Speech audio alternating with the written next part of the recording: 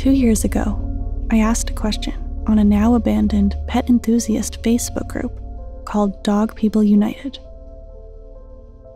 Hi everyone, longtime lurker, first time poster. There's been something kind of freaky going on with my dog lately. I can't afford a vet, so I'm hoping some kind soul out there in the Zuckerverse can shed some light on the situation for me. My dog's a nine year old Shih Tzu mix. His name's Puff. Up until like a week ago, he was a peppy, happy dog. But all of a sudden, he changed. He's quieter now, and he doesn't run to greet me when I come through the door anymore. He just sort of hides and watches me. And he's suddenly weirdly obsessed with water. He spent the last four days sitting in my neighbor's pond or his water dish. I don't know, this might be nothing. He is getting old. I wouldn't even be freaking out about this if it weren't for this really creepy look in his eyes he got about the same time. The best I can describe it, his eyes are like marbles. Oh, and yesterday, he came in the house limping. I managed to grab him and get a look at his back right leg. He didn't seem to be cut or anything. There was no blood, just this weird, whitish goo all over him. Any tips or advice? Horrible word choice aside, that gives you an idea of what was freaking me out about my dog. His shift from loving and energetic to skulking and reserved, his opaque, depthless eyes, and that thick, glue colored slime I found on his leg. I'd adopted Puff seven months before from an aunt of a friend who could no longer take care of him. At the time, I was 24 and had just started a PhD program in psychology at UCLA. My advisor taught Psych 101 during the summer intersession at a junior college in his hometown, a small city called Porterville. That summer, 2018, he offered me a job as his teaching assistant. The pay was shit, but as I'd be required to teach freshman psychology at UCLA starting in the fall, the experience would be worth its weight in gold. Besides, what else was I going to do with my break? Live with my parents in Arcadia and sleep in my high school bedroom? Go back to my old summer job at the mall, behind the register at Forever 21? My favorite thing about Porterville dirt cheap rent. After a year of paying out the ass to share a Westwood dorm, Scrolling through the Craigslist room shares page for Tulare County was a glimpse into heaven. Porterville isn't a small town by any standards, but it's rather isolated, surrounded on all sides by golden, grassy hills and endless farmland. I ended up renting a guest house from a middle aged couple in an unincorporated neighborhood outside Porterville, off a two lane highway. The wife's mother had lived in the little cabin on their huge property for a decade, but she'd passed away the year before, and as the couple's two sons had long since departed for larger cities, they had nothing but space. For 400 a month, I got essentially my own house with a washer and dryer, a pool, and a porch with a view of the unblemished foothills and miles of wild, weeded badlands. And Puff, who'd only ever lived in an apartment, now had an acre's worth of backyard to romp. Puff was an impossibly friendly ball of curly fur who loved attention, particularly mine. He was gray all over, except for patches of black fur over both his eyes and ears, and a small black spot on his back. Very cute. Though he was not a young dog anymore, he had the energy of a puppy. As soon as his black eyes fell on any human he knew, he would bound over enthusiastically and jump against their legs until they relented and picked him up. He had a mischievous streak as well. Within weeks, he'd explored every inch of that acre of backyard. His new life as an outdoor pet gave him a taste for adventure. He took to digging under the fences, and I would often come home from work to find him in the neighbor's yard, sniffing at their son's rabbit hutch. He never did any harm to the rabbits, and they soon learned to ignore him. After all, the bunnies were roughly the same size he was. In my Facebook post, I used the term suddenly more than once. I'll admit my pre grad school diction needed improvement, but even now, I can't think of a better word. At 4:30 p.m., June 30th, 2018, I could hear Puff's sharp little claws banging against the gate that led to my guest house as soon as I shut my car door. Small, furry legs ready to leap ecstatically into my arms, just like every day before. His paws were wet and muddy that day. He dug his way out of my yard to nap under Mr. Ferguson's giant oak tree. Mr. Ferguson, while taking a weed whacker to the bushy growth at the far end of his property, had inadvertently severed a sprinkler head, dumping 150 gallons of water into his backyard before DWP shut it off. Puff wasn't the biggest fan of getting wet, but he tolerated before giving up his favorite sleeping spot. When my t shirt and jeans were sufficiently covered with dirt, I put Puff down. He ran to his empty food dish and looked up at me with practiced, accusing, forlorn eyes until I filled it with fresh kibble, which he inhaled. Later, as I lay on the couch with the latest journal of American psychology, he curled up beside me and fell asleep with his head on my feet. He knew he wasn't allowed on the couch, but the little hairball had figured out I was a sucker for how cute he looked when he slept. At 6:30 the next morning, July 1st, 2018, his high-pitched whining and incessant pawing at my mattress woke me up, a good 15 minutes before my alarm was set to. I crawled out of bed and groggily stumbled to my door, through which he bolted as soon as it was sufficiently open, just like every day before. At 4:33 p.m., July 1st, 2018, I opened the gate without interference and found the backyard empty. No big issue. I looked at Puff's well-used tunnel under the north fence and assumed he was frolicking in an adjacent yard. None of the neighbors minded. They'd all fallen in love with him. I refilled his food dish and went inside to grade papers. Several hours later, my female landlord knocked on my door Mr. Ferguson called. Puff was still in his backyard. It was dark, and while he enjoyed the company my little fur ball provided, he thought I might be worried. Mr. Ferguson lived two doors down. He was about 70 years old, widowed, and though not the friendliest guy on the planet, always pleasant with me. I don't know what possessed him to take that weed whacker to the thick, meter high crabgrass snaking around his chain link fence. It was about as effective as removing a handful of sand from the beach. His sprawling property had clearly not played host to a garden tool in decades. Besides the giant oak tree, his yard was home to piles of rotten wood, an old shed destroyed by a long past thunderstorm and never rebuilt, an empty trailer used in theory for storage, but in reality, a cockroach sanctuary, a broken down tractor, so rusted and weather beaten it had become a part of the ecosystem. And seemingly, every species of weed, vine, and other invasive flora this side of the Amazon rainforest. In the weeks or so since he severed that sprinkler head, his backyard had begun to resemble a swamp. The property was bowl shaped, a shallow concavity at the center, approximately nine feet in diameter, with sides sloped so gently he barely noticed the irregularity. Until 150 gallons of water gushed out of the cracked pipe and turned the area into a pond. Several days of heavy rain had kept the muddy pool from evaporating. Mr. Ferguson didn't have a porch lamp, so I found myself looking for my dog by nothing but the dim light emanating through his back door. Any time previously I had found Puff in a neighbor's yard, he would jovially reveal himself as soon as he caught my scent. Not this time. I called his name, then called again. Nothing. I saw a movement. My eyes adjusted to the light, and I recognized Puff's floppy ears and nappy fur. He was sitting in the pond. I took two steps towards him and saw that he was almost fully submerged in the murky water. This was strange. Puff hated baths and avoided our pool like the plague. I called him again, and when he didn't come, marched out to grab him, soaking my shoes. He darted away from my approaching form. He's been there for hours, said Mr. Ferguson from the doorway. I've been here since noon. The little guy hasn't moved. I lunged at Puff again. Again, he cowered, backpedaling deeper into the water. Finally, he seemed to comprehend that it was time to go. He begrudgingly waded out and stood in front of me, as though awaiting orders.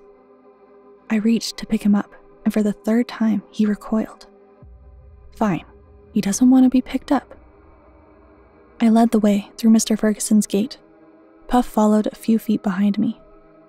We continued like this all the way to my guest house. I expected Puff to scarf down the kibble I'd set out for him. It was nearly nine. He should have been starving. But he didn't even look at the food. Instead, he plopped himself down in his water bowl. He sat motionless for about a minute until he realized that my standing by the door, holding it open, meant I wanted him to go inside. I was tempted to leave him in the yard, but didn't want him getting out into the street in the dark. Whatever, a neighbor probably fed him, and it had been an unseasonably warm day. He was probably hot. I made a mental note to get his fur trimmed, and, deciding to put off cleaning up Puff's dirty paw prints until morning, lay down in bed to read. But Puff didn't jump up beside me to snuggle, as he usually did. I saw his short legs and broom like tail vanish into the dark bathroom, where he stayed for the rest of the night. At 7:30 a.m., July 2nd, 2018, I awoke with a start. My alarm hadn't gone off, and I had to be at work in 30 minutes. I was tossing my dirty hair into a ponytail, ready to grab my bag and run for it, when I realized my more reliable, furry alarm clock had also failed to wake me. Where was that dog? I called his name. Nothing. I did a lap of our three room home. Puff was nowhere to be found. In too much of a hurry to look for him, I took off for the college, fully expecting to come home to a puddle of dog pee and Puff pawing at the door. At 4:28 p.m., July 2nd, 2018, I came home to an empty yard as expected. Less expectedly, I came home to an empty house. No dog pee, no puff. Full bowl of untouched kibble. Then I made a discovery that demonstrated just how strange the whole situation was. A set of well defined paw prints led from the door to the bathroom. This made sense. It was the path Puff took as we returned home from Mr. Ferguson's yard last night. But there was another, lighter set of paw prints leading back the other way, from the bathroom to the door. I opened the door and looked out.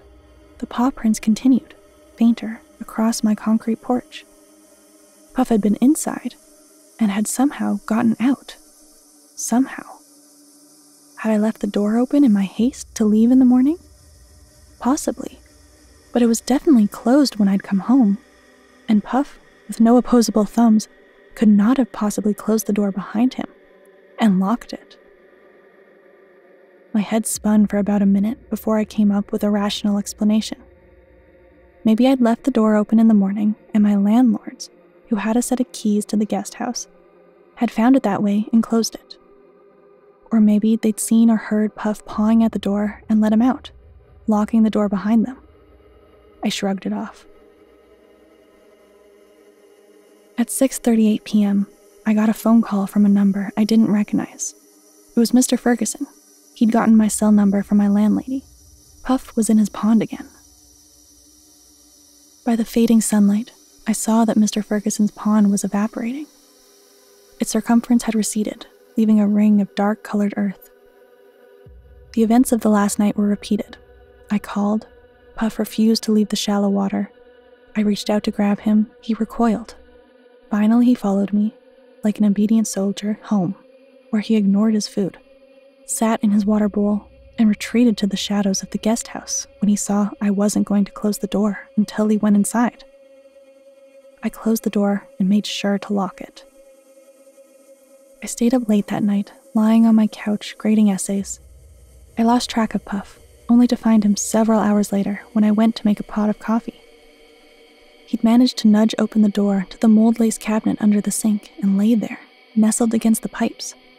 Strange, this had never been one of his hiding places. I knelt to pull him out. I didn't want him to consume the dish soap or cleaning products I stored there. He withdrew from my outstretched hands and nipped at me. I pulled back, flabbergasted. I'd never seen him so much as growl at another creature, much less try to bite me. I looked him directly in the eyes, except they weren't his eyes. There was something different about those pitch black orbs, no light, no recognition, like doll's eyes. It's hard to explain, but it freaked me out. Fine, I snapped. Stay there. As I stood up, I noticed an unfamiliar odor mingling with the scent of my cheap coffee. It brought to mind a fast food dumpster. I remembered the Carl's Jr. bag I tossed a few days ago and made a mental note to take out the garbage. Before going to sleep, I double checked the door and set my alarm for 6:45. I didn't hear Puff move all night and didn't check to see whether or not he was still under the sink. At 6:50 a.m., July 3rd, 2018, Puff was missing again, and a faint trail of muddied paw prints matching the one I wiped up the day before led out the door and onto the patio. There was also fresh smudges of dirt on my sliding glass door and its black plastic handle, as though Puff had attempted to open it himself. I threw on jeans and a sweater and jogged to Mr. Ferguson's house. He was fully dressed when he opened the door, as he was the type of elderly man who woke with the sun. That day, he'd been roused at 4:30 by a wet plop from the backyard. Yeah, this is getting tedious. Puff was in his pond, which was being worked on by nature slowly and surely. It was now barely four feet in diameter, and I guessed less than a foot deep at its apex. With Mr. Ferguson's permission, I left him there. That night, I started keeping a journal. Here are a few entries. 10:30 p.m., July 3rd, 2018. Went to get Puff from Mr. Ferguson's house. Pond is shrinking, only about 3 feet across. Managed to grab hold of him for a minute before he squirmed away. He feels heavier and squishier than before. I think he's gained weight. Still hasn't touched his kibble, and neighbor's probably feeding him table scraps. He went and hid in the bathroom when we got home. I sat down at the kitchen table to do some work. 45 minutes or so later, looked up to see him sitting under the counter my TV is on. Calm, quiet, just staring at me, watching me. His eyes are really freaking me out. They look dead, like marbles. I've really got to find out who's feeding him. I took out the trash, but the house still smells like some awful combination of rancid fish and McDonald's dumpster. I think he's been ripping some really nasty farts. 11:45 p.m., July 3rd, 2018. Really interested to see how he's getting out. Gonna ask the landlady tomorrow. Just set up my laptop webcam to record and put it on my kitchen table so it shows the entire front of the house. Maybe he's found some hole in the floor I don't know about and is getting out some other way. Puff's still under the TV, hasn't moved all night. 10 a.m., July 4th, 2018. Couldn't find Puff when I woke up. Went to the kitchen to make coffee, pot was dirty, so I opened the cabinet under the sink to get the dish soap and actually screamed. Puff was curled up under the pipes, I thought he was asleep, but his eyes were wide open. I went to the door and opened it, and he strolled casually out. I watched him head towards the north fence, towards Mr. Ferguson's yard. The weird fish and rotting fast food smell is particularly strong this morning. Watch the video I recorded on my laptop last night. Very weird. At around 1, Puff walks on camera from the right, heading for the door. Then he stops and turns around and just looks right at the camera. Dead black eyes reflecting the green recording light. I'm sure this is me imagining things, but I could swear the corners of his mouth elevate as though he's smiling. Then he walks off camera in the direction of the kitchen. 5:30 p.m., July 4th, 2018. This is crazy. I went out to run some errands, then went to talk with my landlady.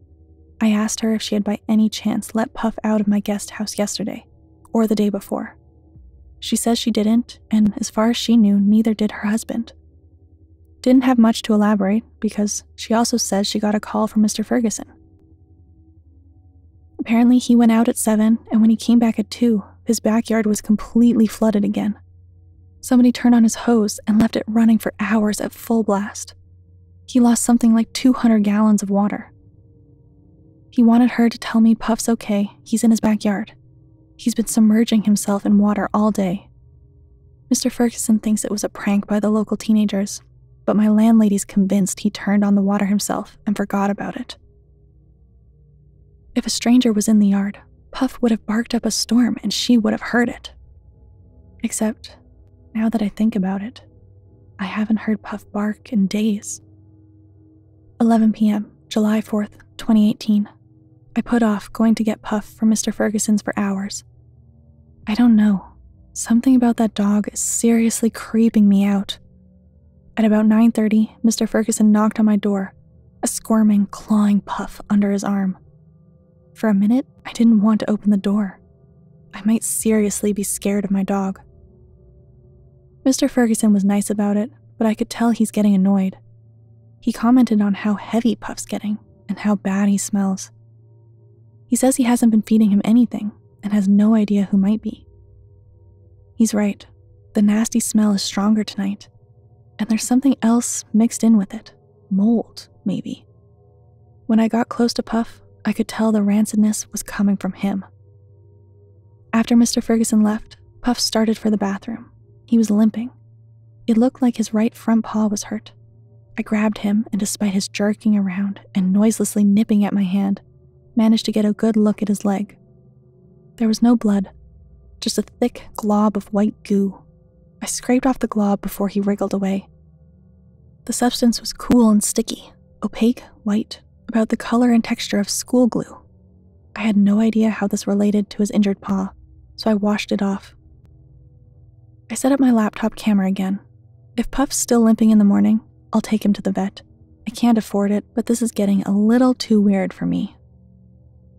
10 a.m., July 5th, 2018. I just watched the footage I recorded last night. What the hell? I'm writing this from a diner in town. I don't want to be at home right now. The smell is terrible, and I'm sure now there's something really effed up and twisted going on. When I woke up, Puff wasn't anywhere in the house, and the front door was locked. I checked everywhere for him. When I looked in the cabinet under the sink, where he'd hid the other day, I saw a pile of something white. It was a pile of maggots. When I went to watch what I recorded, I realized my laptop had been turned off. I nearly punched myself in the face. I knew exactly what happened. The night before, distracted by the neighbors setting off legally dubious fireworks, I must have momentarily forgotten my plans to surveil Puff and instinctively pressed the off button. I turned my computer on to delete what should have been a short, useless video. I was wrong. I'd recorded around two hours of footage the night before. At about the hour 55 mark, around 1 a.m., Puff walked into view, heading for the door. But again, he stopped and turned to the camera. He cocked his head, and this time, I'm sure he smiled. I could see his teeth then he walked towards the camera and under the table. The video shook as though the table was being rattled. Then something large and gray took up most of the frame. Then the camera was completely obscured, and then the video ended. Did my tiny dog climb to the top of a four foot high table, then willfully turn off my laptop because he knew I was recording him? How is that even possible? House pets don't plot or sabotage or try and cover up for the shit they do. And the maggots and the smell and the strange white goo and those eyes. His effing dead, plastic, cold eyes. I don't want to go home. I don't want to go to Mr. Ferguson's yard to find Puff soaking in that murky, scum covered pond. I don't want to look up to find him staring at me, studying me, or messing with me. I don't know. There's too much I don't get. I can't explain. I didn't go home that night. In fact, I never entered the guest house alone ever again. I told my landlords my hours at the college had been cut and I could no longer afford rent, and they sympathetically offered me my deposit back despite my late notice. I didn't take it. I put in my two weeks' notice with my advisor and told him I needed to go home to take care of a sick grandmother, and he assured me he understood. Several days later, assisted by my advisor, I packed all my belongings into cardboard Home Depot boxes, loaded up my car, and stayed in a hotel until my two weeks were over, and I left Porterville for good. I lived with my parents for the rest of the summer. I told them Puff had been hit by a car. In the fall, I moved back into a Westwood dorm. I shared a small two bedroom apartment with three quiet, studious undergrads, and we shared a complex with a mixture of graduates and undergrads, some of whom were always loud and frequently drunk. But I soon realized I didn't mind the constant company as much as I had the year before. In fact, I felt safer knowing I wasn't alone. When my roommates were in the apartment, I could concentrate on my schoolwork instead of constantly scanning the area for the black, lifeless, opaque eyes I could still feel resting on me. Which brings me to the obvious question what happened to Puff? I sat in that diner for hours, grading tests at first, then resigning myself to the fact I was too on edge to read coherent sentences, watching harmless web videos that had nothing to do with paranormal shit or pets. I knew I'd get the call from Mr. Ferguson any moment, and I was terrified. But that call never came. I spent the night at a motel, and in the morning, finally sacked up and called Mr. Ferguson myself. He hadn't seen Puff since the 4th. He thought he heard a bout of splashing in his pond early the next morning, but assumed that since Puff was home with me, it was a raccoon or squirrel and didn't bother getting up to check. Then I called my landlady.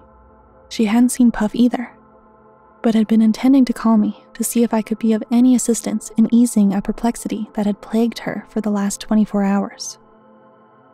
Apparently, the Johansons' little boy was very upset. They were the family who lived right next to us, the ones who owned two rabbits. They'd woken up the previous morning to find both rabbits missing and a gaping hole in the bottom of their hutch. I wasn't to worry, I was assured. Puff was off the hook. The mesh that formed the floor of the hutch had been cut with wire cutters. Puff's lack of opposable thumbs deemed such a task impossible. The Johansons believed it was the work of the same prankster who turned on Mr. Ferguson's water the day before, and my landlady wondered if I'd seen or heard anything. I hadn't. Puff was still unaccounted for when I returned, for the last time, with my advisor to the guest house to pack up my belongings and I made no further effort to find him. The rancid, fishy odor had greatly diminished, but not completely dissipated. I found myself glancing nervously over my shoulders and flinching whenever a closed door was opened. I left my dish soap and cleaning supplies for the next tenant to find. I didn't dare approach the moldy, maggot infested cabinet under the sink. The Johansons' rabbits, according to my landlady, briefly reappeared Mrs. Gonzalez, who lived between us and Mr. Ferguson, found them lingering in her yard when she come out to turn off her sprinklers.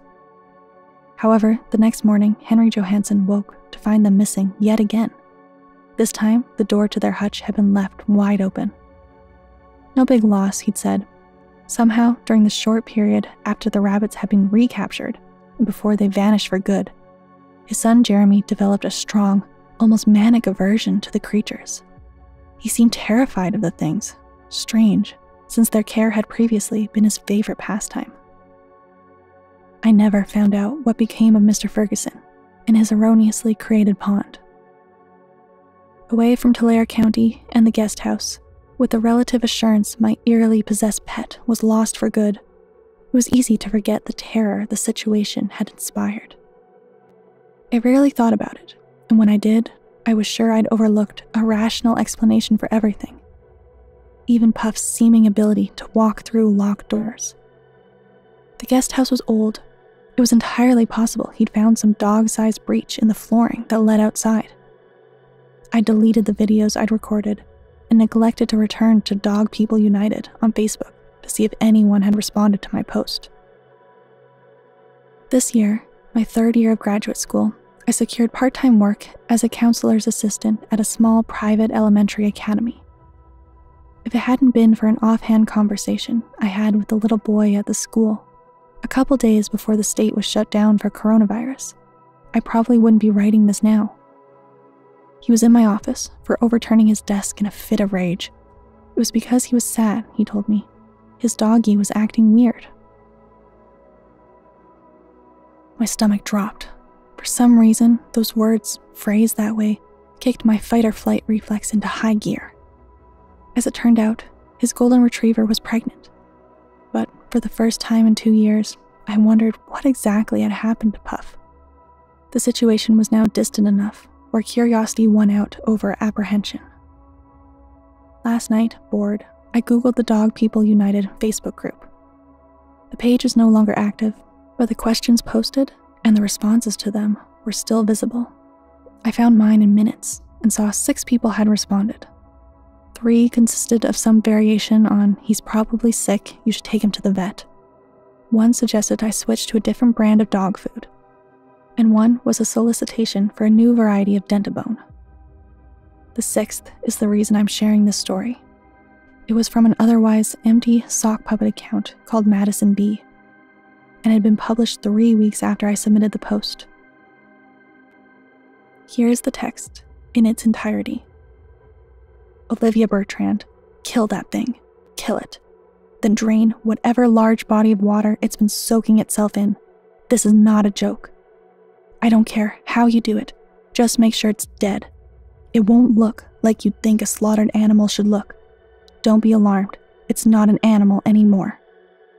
I know this sounds weird, and I can't fully explain on Facebook, but it's of utmost importance that the thing is dead and the water is gone. Do it as soon as possible. Be careful, the thing is stronger and smarter than you think. And do not, under any circumstances, get in the water. Do not let it coax or drag you into the water. Do not go anywhere near the pond or lake or whatever until it's been completely drained. Then make sure it stays drained. Please, for your own sake, do what I say. I repeat, this is not a joke. Does anyone know this person? What she or he can't fully explain over the internet? Anyone else want to take a crack at it? Is this some new variety of internet hoax I'm not aware of? Please, anyone with additional information, comment below.